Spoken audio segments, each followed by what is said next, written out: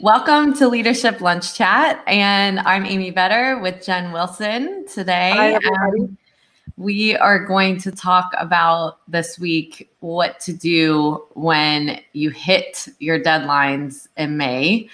It's coming up, and uh, we all know how stressed out everyone has been just trying to keep up with the workload over the last year, and what we can do now to make sure that we refuel, reset, and are ready for when we need to be ready and getting really present in the moments that we're in when we are off these deadlines as well. So, Jen, do you want to start out? Yeah, I mean, uh, you know, I'm just entering our peak season. You are too, Amy. And so we know that we have to kind of enter with a positive frame. We sometimes exit our our peak season if it's eight weeks or 10 weeks, or in this case, for some people, 12 weeks, you know, kind of an extended one. You sometimes exit grouchy or tired or I don't know, maybe not as hopeful as you should be. Now, if you've been doing the gratitude practice and all that stuff that we've talked about, managing stress, uh, then maybe you're exiting your peak period here in May in great shape. But for many of you, you're not. Um, you know, you're um, worn out, maybe. So I think number one priority needs to be where is my time out, uh, time off coming from? You know, how am I getting a break, a mental, physical break? And I had a call last night with an auditor who is not finished, won't be finished really till the end of May. And uh, and and uh, he kind of does a little bit of tax, and so he planned a vacation in early May with his wife, um, and that was before the May seventeenth extension. so, but I was so proud of him because he's taking the vacation anyway, and so we spent our entire call planning for how he was going to take it and not, um, you know, overburden his peers and not ha- come back to a mess mm-hmm. and not come back to client expectations misset. So, you know, the first thing you have to do when you're exiting this whole uh, busy season is to kind of recognize I need time off. How am I going to do it clean? Uh, how you know who who do I need to coordinate with so that we don't take time off at the same time? Who are going to be the people I'm going to be backing up, and who are who's going to back me up? And how can we make sure that we just don't have a big overlap there?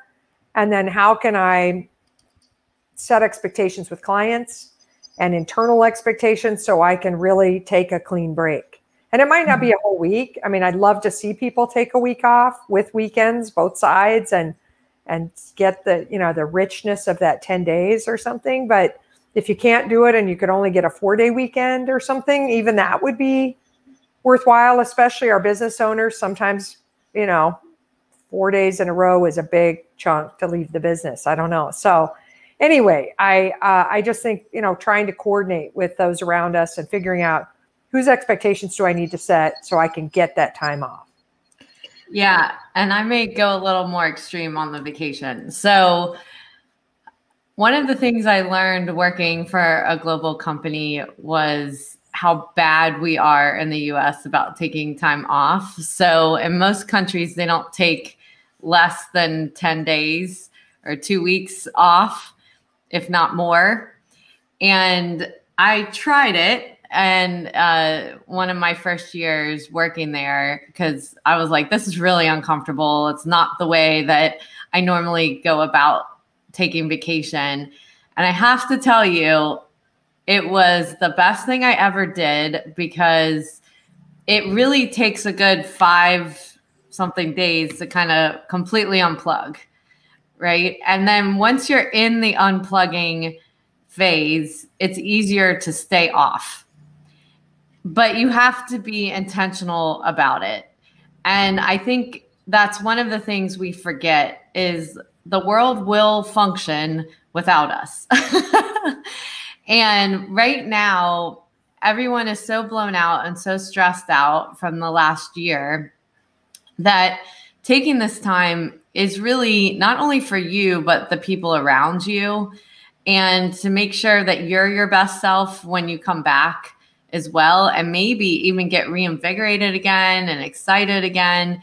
I know for me, if I don't take those pauses, I don't innovate. I don't think of new ideas. And it's just really important because right now you've done a lot of work in order to just keep the lights on, meet all these deadlines. And the thing is, like the shifts everyone's had to make just shows how innovative the profession is, right? Like deadlines change, uh, regulation change, all of those things. And quickly we have to figure out how to do it when it's mandated. But when it's by choice, like taking time off, like getting our world in order after um, taking some time off, that when it's not mandated on us, it's harder for us to do it. And so, if we're going to do it, it's important that we support everyone around us to do it as well and lead as an example. And, uh, you know, if we just talk about it and then people feel guilty taking the time off, it just won't happen. I agree. And I, you know, uh, we close every year at Convergence and have for, I don't know, 18 of 21 years, something like that. We have closed uh, from a few days, three or four days before the Christmas holiday, all the way until somewhere around between the 6th and 8th of January. Um, and we started doing it when we all had little kids. Mm-hmm. And uh, they would be off. Uh, they were off all summer, but that was our peak period. So we couldn't hang out that much with them in the summer unless we brought them on the road with us or whatever. So when they were off that two weeks at over the, the winter break, we took a winter break also as mothers and you know people that wanted to be with these kids. And um, and so we didn't go back until their last, you know, they they went back to school. On the day they went back to school, that's when we came back to work. And that was this unusual thing back then. You know, mm-hmm. people would be like, What do you mean you're not back January 5th, you know, or 4th or 3rd or whatever? And um, or what do you mean you can't schedule a meeting on December 23rd? And we we militantly close our business. We put it to sleep. We call it putting it to sleep. And we um, we tell the entire world and we start telling them at like the middle of November. And we put it in our PS on every email and we put it on our website and we put it in social and we verbally tell every single person on every call and we say, listen, we're closed. And then people will come and say, I've got a comp committee meeting. Jen, you coach our comp committee. You've got to do it on December 27th. And I'm like, no, we're, our business is asleep then and I am off. And we're militant. We close our laptops, we say goodbye. And during that time, it's, you know, you're right, five or six days, uh, especially because those of us that celebrate Christmas or Hanukkah or whatever it is, unfortunately, there's a lot of familial responsibility that we have to deal with and presents and all that business. So there's no real rest. The first six, seven days is like work, a different kind of work, uh, panicked work, and uh, holiday work, and then uh, you know cooking and all that business, and then and then we take eight, ten days off, something like that, and really decompress. And man, are we better people? Our January is a really busy month. So that's why people are always shocked. Like, what do you mean you're not coming back till the 8th? I think this coming year it's the 10th or something. And we debated it. We debated, like, oh, maybe we should just only take, you know, this many days. And then we're like, no. Yeah. No, we're going to be the same militant self we always have been. So, you know, we have a process for it. It is not easy. People mm-hmm. do try to push back on us and make us feel bad about it a little bit. Most of our clients, though, they're like, not only do they appreciate that we do it and they know we do, so they expect it and they schedule around it, but many of them have started to do it too. They're like, yeah. why, why wouldn't we? Yeah. Um, and, you know, I know if you're a tax practitioner, you hear this and you think, wait a minute, you're in tax planning. And we're like, just do that sporadically from your house or something. If you have to absolutely help clients at your end with the purchase of a automobile because they didn't talk to you about it December 17th. Um, but anyway, uh, we have we have lots of clients who do it too, and it's wonderful. And so you can do it. You're right. Um, there's always somebody that's going to make you think you were irreplaceable during that time period. But in the truth, when you shut it down, you people are fine, and yeah. and they don't and they don't all quit you. Yeah, you know that's well, and I think a key thing that that you said is being diligent about it. So I know I made the mistake many times as a CPA firm partner, being in the middle of Disney with my kids, taking calls all day long, and saying I was on vacation, right? um, feeling like, you know, you know, I I had to be available. So I never got that breather. The problem is is it kind of is a reflection of your leadership if you can't walk away um, for a week with your family or yourself, uh, even if it's by yourself for a retreat or whatever you want to do. Um, it is a reflection of leadership capability and making sure you have bench strength and people that you can hand stuff off to feel confident that they got this. If it's an absolute emergency, they call you. But if you start responding to emails at night, if you start responding to emails even during the day, even if you have the out of office message, what you're doing is basically disciplining people to say, just ignore it that I am accessible. Yes. So it's very uncomfortable to not respond um to you know really try to unplug i mean i know sometimes what i'll do is look at the emails clear out emails i don't need but i don't respond. Um, because i know from the past when i do that then the rest of my vacation's ruined.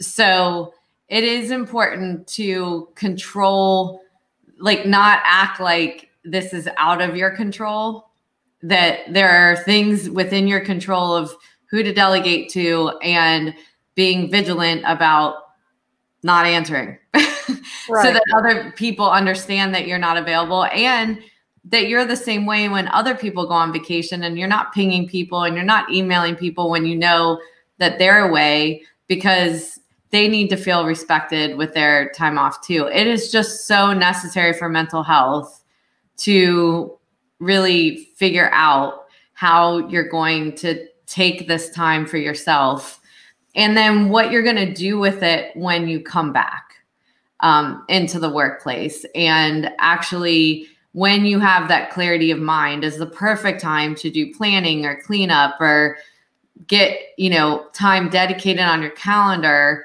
to work on things that you haven't gotten to before.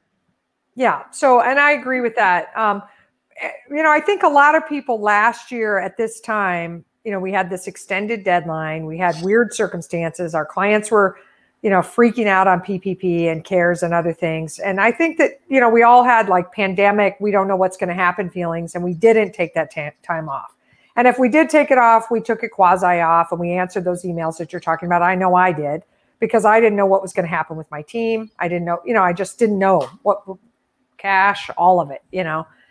We're not there this year. I know we still have a lot of uncertainty, but it's not the same as it was last year. There is an earlier deadline. There is a little more clarity and certainty to the needs of the client base, not just at convergence, but within your own client bases. We can take time off and mm-hmm. really come, you know, really do it here this next 8, 10, 12 weeks. And we need to do it and we need to make sure everybody does it. Not just us, you know, but we need to be vigilant about looking at what our people's plans are and, you know, gently but firmly encourage time off for them so they can be refreshed and better as well. And then I love where you were just headed. And, eh, you know, I try not to think about my business when I'm on the beach or something, but sometimes some ideas, yeah, stuff comes into my mind and um, and and i think one of the most you know you talked about innovation and i think that's important but also i usually get some pretty clear messages of some difficult things i need to do. Because to me innovation is like yeah man let's do it. You know it's not even if it requires hard work it's not the same as like sometimes i'll get a message about certain clients i just need to stop working with you know mm-hmm. that that I've been doing a yeoman's job with or our team has been but they're just not that joyous or or it's just not what it needs to be or we're not getting where we need to be sometimes it's like boy we really need to rethink this whole service area or we need to you know um, slow down selling or i don't know mm-hmm. what the messages are i've done the get. exact same thing yeah and yeah. so uh, and i would call that like come back from vacation and do a little closet cleaning out yeah you know, a little bit of like, um, what should we stop doing? Yeah, well, yeah, get get a dumpster and set it outside of your business, figuratively speaking, and take stuff out there that you that isn't serving you anymore. Yeah. It doesn't make sense to keep doing. And that's the hardest thing to do is stop doing things or remove things. Um, but boy, um, we have to do it. And I think that clarity can come from that real time off. Well, I think, you know, what happens a lot of times is that when you're off and you've given yourself enough time to get relaxed, you're like, I don't want to lose this feeling. I don't want to go back and get all stressed again. And so that is when I start thinking of things of like, oh, and a lot of times in my businesses, it's my fault that we're doing too much. I do. Are you kidding? I mean, 100%. I mean, I, I'm just one of those people where that's just idea generator. And so, um, really, even restraining myself and saying, what are the most important things that we should be working on? Because I don't want to work like this as well. And it's those reminders that are so important um, when you're coming back. So I absolutely agree. It's not always the new things, it's the things that you're going to stop doing or you put on the back burner and say, it's just causing too much stress right now with not enough return. What things should we be really go hard on and focus on? And that was definitely something this year that I did in my own business versus, you know, when there's so much unknown in all of our professions, it was stepping back and thinking about what things can I control, what things are things that if I put my focus on it, there's possibility versus the pie in the sky things you normally do when the economy is operating like it is to see yeah. if it works. Yeah, I mean it uh there's so many places to look, so many corners to turn to. And um, and I think that uh, you know I like that you said it was your fault. You know I'm I'm a big proponent of 100% responsibility. So even even, even if I wasn't uh, you know, the chief um, troublemaker in my business, chief uh, uh, you know, then I have to look at that. And I think the thing that, you know, I, I don't just, I'm not just the idea person. We have uh, lots of ideas in our business, but I, I tend to, um, you know, push us to solve problems that mm-hmm. people are having out there in the marketplace and that causes new service or new opportunities. And I probably am the, the pusher or the, or the primary um, person sort of sourcing opportunities and, and pushing the pipeline or squeezing it or something and overselling is a terrible mistake. You know, if you want to stretch mm-hmm. yourself out, you say yes too many times to people that need your help.